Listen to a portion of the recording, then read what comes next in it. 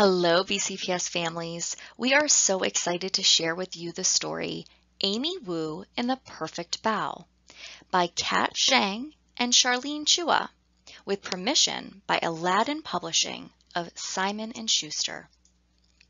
As you listen to the text, we will stop and ask questions for you to think about throughout the text. After you finish listening to the story, first we will share some questions for you to think and talk about. You will then see a writing prompt. You can use this writing prompt to respond to the text and share with your teacher. Finally, you will see some engaging activities at the end for you to have fun interacting with the book. Enjoy! Hello! Today I'm going to read a fiction text called Amy Wu and the Perfect Bao, written by Kat Zhang, illustrations by Charlene Chua, with permission to read from Aladdin Publishing, a Simon & Schuster imprint. When I read a fiction book, I get my brain ready to think about the characters in the story. I also can think about what is happening in the beginning, middle, and the end of the story. In today's story, we'll be reading about a little girl named Amy who is very good at lots of things. But she can't make the perfect bao. A bao is a Chinese food and it is like a dumpling.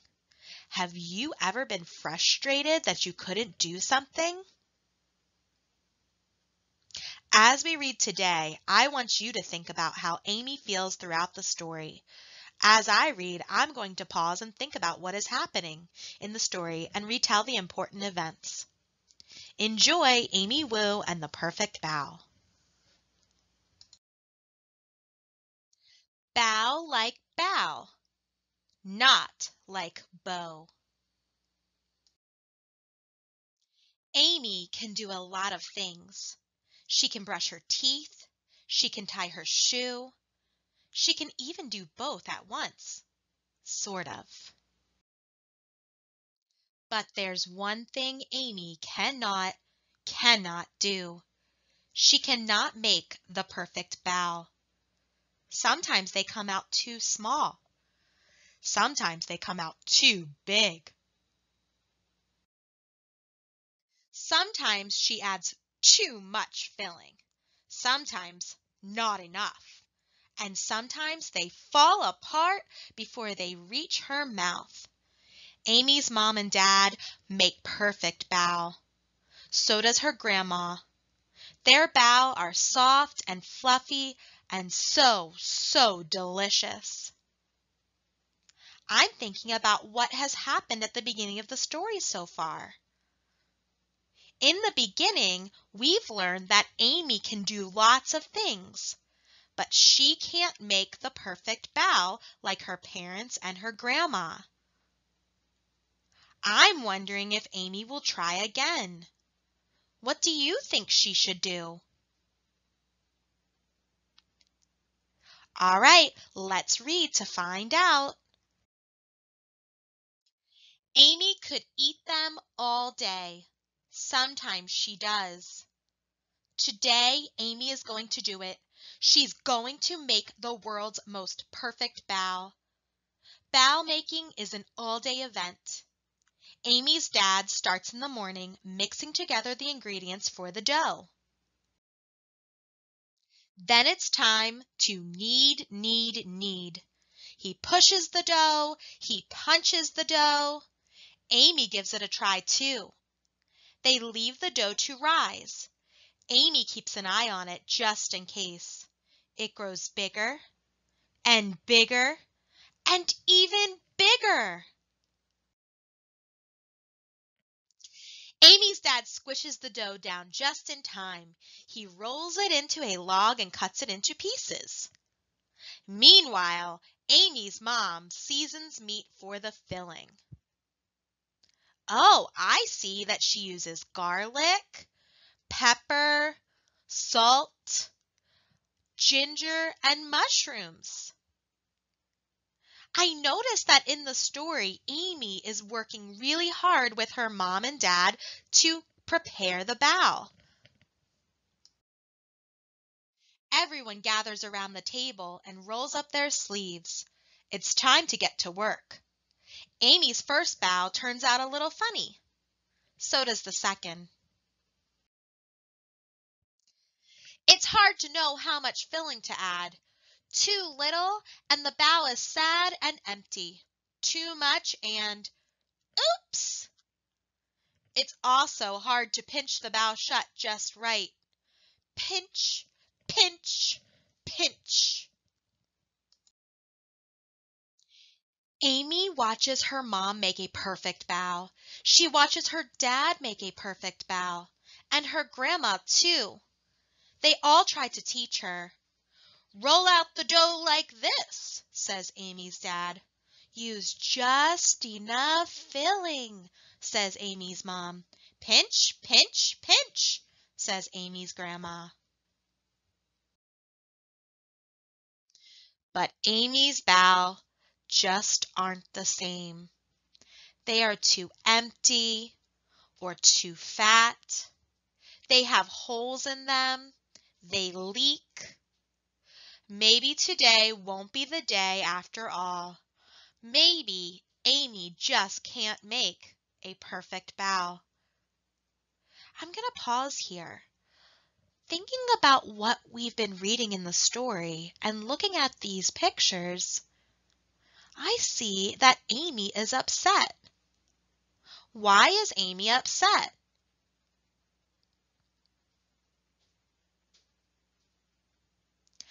I think Amy is upset because she is struggling to make the perfect bao. This means she is frustrated. Then Amy has an idea. The pieces of dough were cut for grown-up hands, but Amy's hands are very small. She whispers her idea into her grandma's ear. Amy's grandma cuts each piece of dough into two smaller pieces, Amy size pieces. Now they fit perfectly in Amy's palms. Carefully, Amy rolls the dough so it's thicker on the inside and thinner at the edges.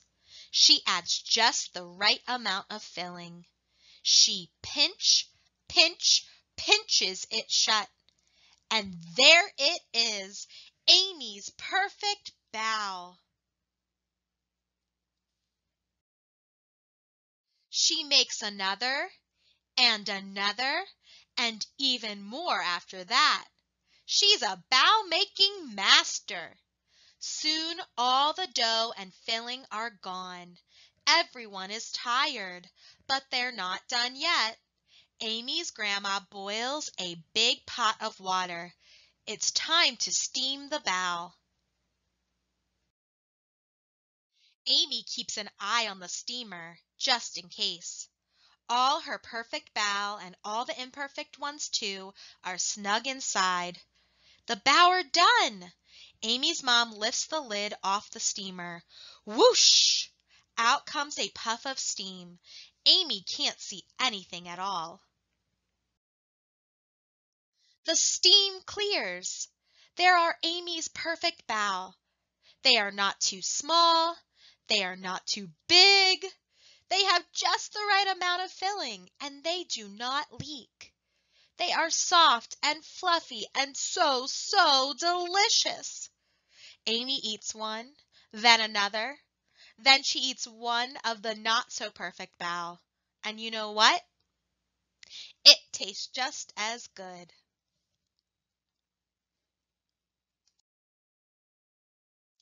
Now we can think about what happened in the beginning, middle, and end of the story.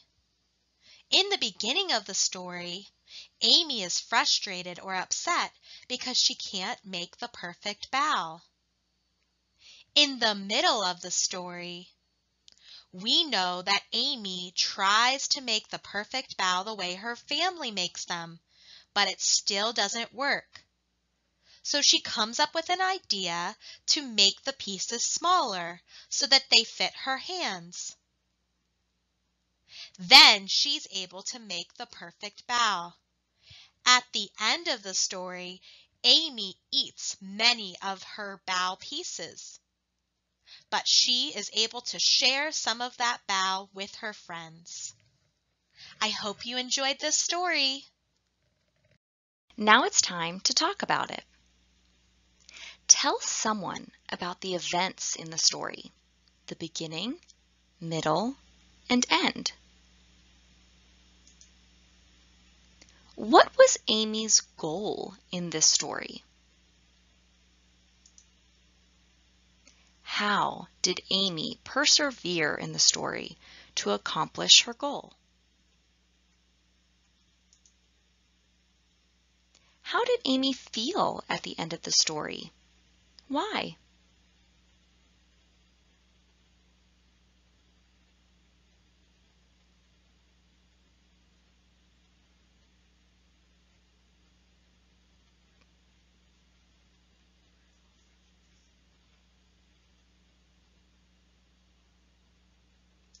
Now it's time to write about it. Think about something that was difficult for you at first, but you persevered through the process to complete your goal. Write a sentence and add an illustration, sharing how you accomplished your goal.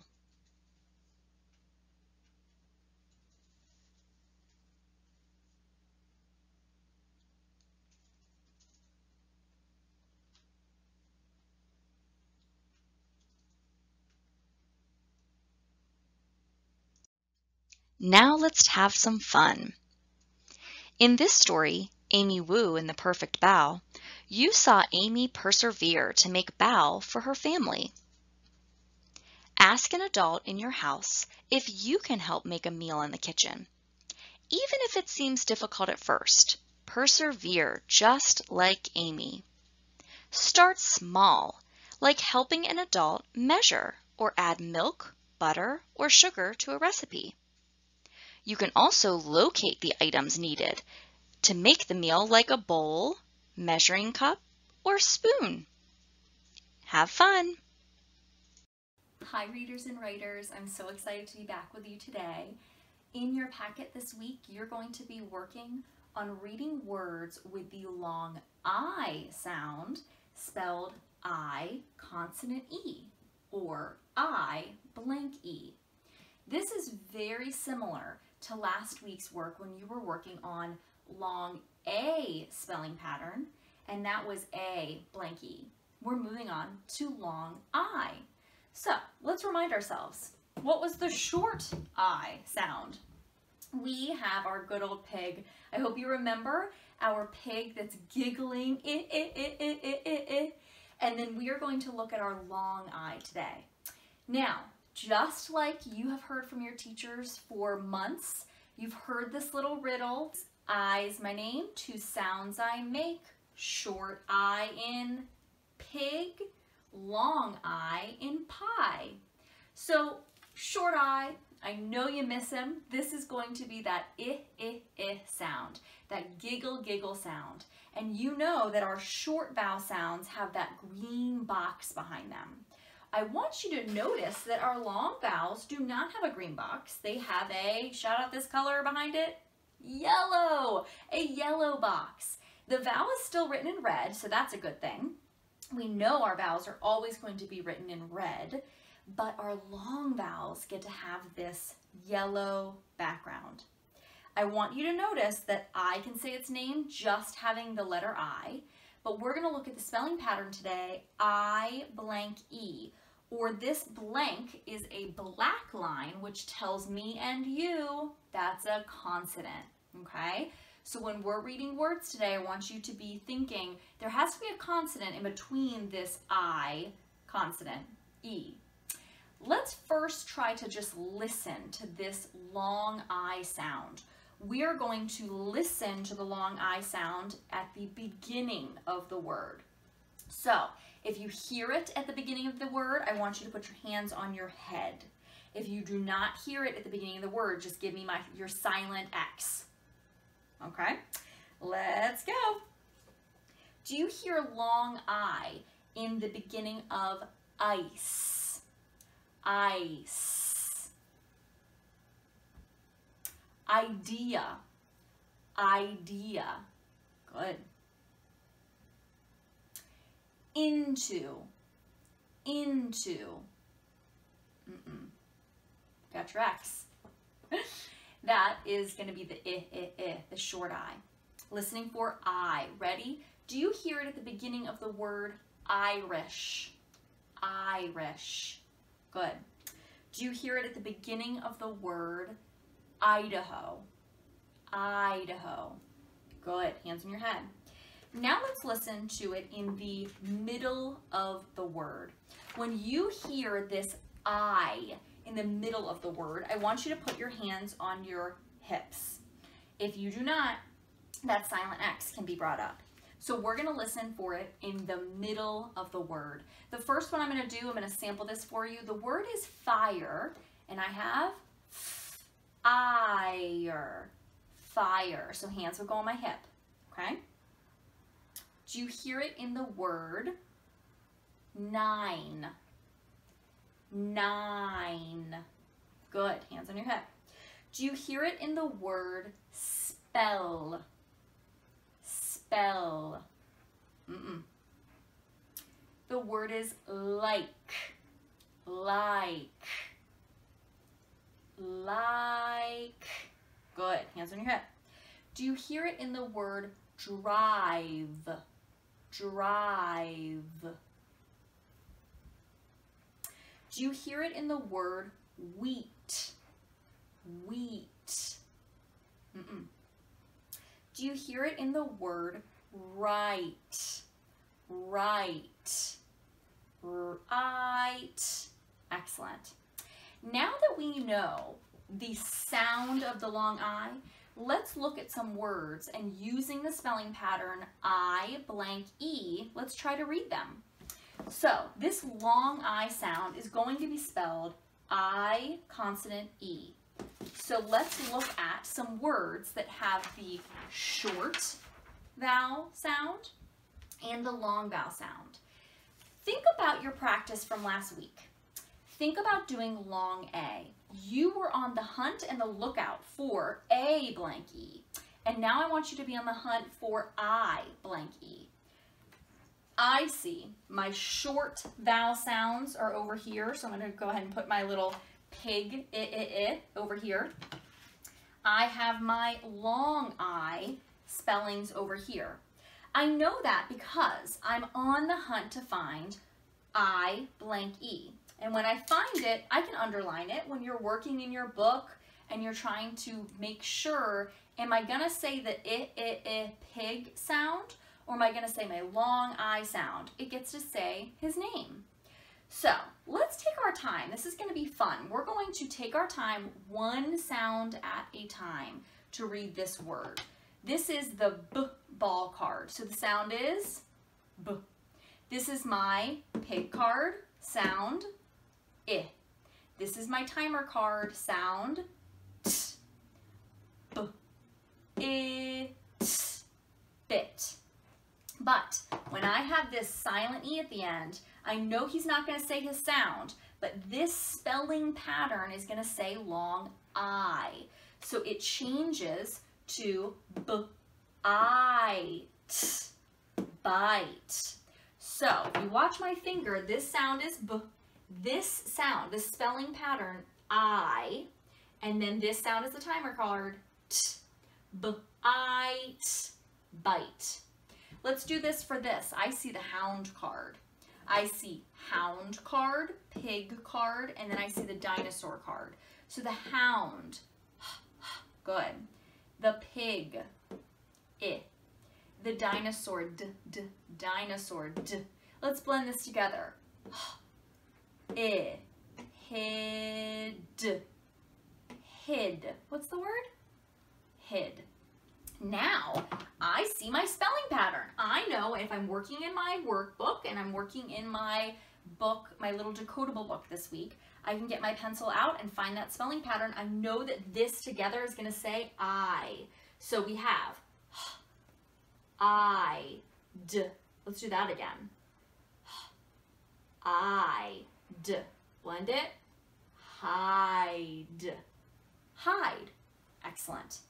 Let's do one more in this way. I have my short I, I, I. d, i, m, dim, dim. Now, your turn with the long I. Say that sound three times. Ready? I, I, I. It's just getting to say its name. So I know that this is the spelling pattern that gets to say I. So I have sound d, sound I, sound m, d, I, m, dime, dime. Good. Before we leave each other today, let's blend a couple more words with this spelling pattern. So when I put up a letter, just tell me the sound. Sound, ooh. Sound, I. Let's blend those two parts. Lie. Blend it. Like. Good job. Let's look at one as a review from last week. Sound. Sound. A. Good. Blend it.